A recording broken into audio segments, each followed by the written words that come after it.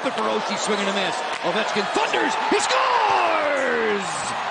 Alex Ovechkin makes it a one-goal game. Alex Ovechkin is having the worst season of his entire career. At the age of 38, Ovi is shooting at a 6% conversion rate with only 9 goals through 44 games. To put this in perspective, Ovechkin has only shot below 10% one other season in his career, and that came all the way back in 2010. To top things off, Ovi is also shooting considerably less, averaging 3.4 shots per game, which puts him on pace for the lowest shot total of his career. So what's wrong with him then? Well, the answer is probably pretty clear. He's 38, he's lost a step, his supporting cast isn't what it used to be, and the Capitals' power play has plummeted all the way to 27th in the NHL. There are numerous factors at play here, and Ovi isn't all to blame. Aging is a natural part of life, and regression is inevitable. But a paradox comes with Ovechkin's hunt for the all-time goal-scoring record.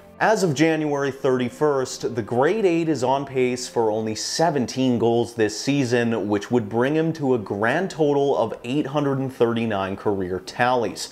That would place him 55 goals shy of Wayne Gretzky's all-time record, meaning Ovi would have to maintain his current pace through four more seasons. That's not to say that it can't be done. Who's to say that he won't bounce back in the second half of this NHL season or maybe even next year? It's entirely possible. But it's also possible that his production could continue to drop off, making it increasingly difficult to reach the milestone. And listen, earlier this month in our first video on this channel, I said this. Despite Ovechkin's uncharacteristic production this season, whether or not he'll break the record is irrelevant. As the greatest goal scorer in NHL history, it's a matter of when, not if.